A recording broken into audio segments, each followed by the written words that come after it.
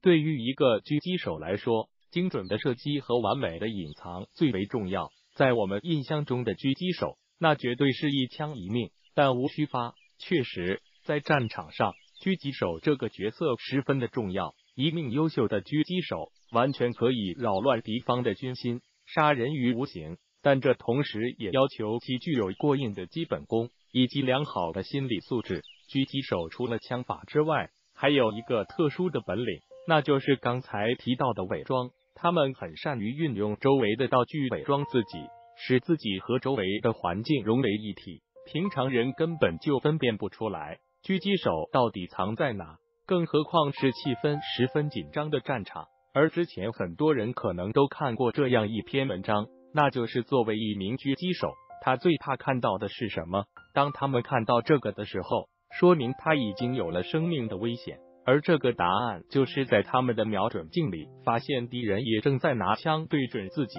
其实这个对于狙击手来说还不是最可怕的，因为在这种情况下，双方互相瞄准，每个人都有百分之五十的生存希望，也很有可能两个人都活了下来。而今天要和大家说的事情比生命更重要，那就是狙击手开完枪后忘记拿走子弹壳。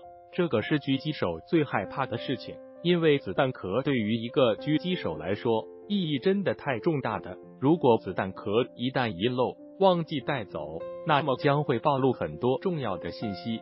首先，敌人会根据你子弹壳的位置推算出你逃生的路线，而这也只是最基本的一点。除此之外，敌人还会根据子弹壳口径判断出狙击手的用枪习惯，还会根据这个子弹的射程。推算出狙击手要击杀的目标。最重要的是，子弹壳上也会有这款武器的生产商的，因此遗留的子弹壳将蕴含着巨大的信息量，尤其是对于一些重大而秘密的狙杀任务，这个是最致命。很多时候，在狙击手看来，个人的牺牲不算什么，但如果因为自己的失误而给整个组织或者整个国家带来不必要的麻烦，那就严重了。